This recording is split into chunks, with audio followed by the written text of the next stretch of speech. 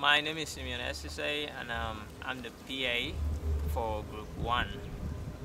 And um, our main topic is um, mental health. How are you enjoying it? How's it going? And our target community is Tengbe Town. Okay. So what we're doing is, um, first of all, we try to find out um, how much knowledge people have about mental health in Tengbe Town. Yes, and then we're going to like sensitize them, try to educate them um, about mental health in Sierra Leone in general. Um, why we're doing this is because like we've found out that in Sierra Leone in general, not only our target community, Tengbe Town, mental health does not have a very beautiful history, you know. It's going on well, it's going on just like a normal. People tend to marginalize against mental health. You know, they tend to like push mental health to the back of everything. Mental health is not considered as a very serious case and it's not taken seriously. You know, I mean, people think oh, Shoot, we're rolling it right that when once you're mentally ill, well, you're done for. You're no longer no use to the community, and they, they, they don't even think that anyone can recover from a mental illness.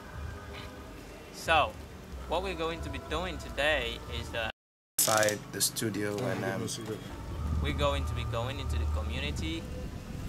because we've, we've, we've been there once. I mean, we've done a survey. We, we found out how much people know.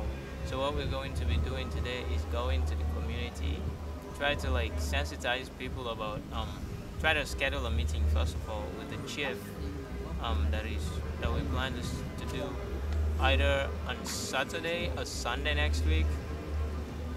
I mean, this meeting we're going to be like giving out a pamphlet which, you know, has yesterday we some basic information on mental health, which is meant to educate people, give them a basic knowledge on mental health.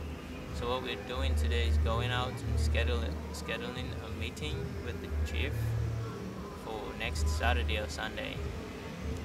And also we go into to been shooting like talking to some of the stakeholders that we already talked to the last time, like some um, pastors, some imams, then um, the chair, the chairman of Tengbe Town community. We're going to like tell them about the meeting that we're going to be organizing next Saturday or Sunday, and then we're going to like ask for some feedbacks from them. at the national stadium and now we're Yes, and we expect to get very good feed- feedbacks because like these people that we we've talked to so far, they are very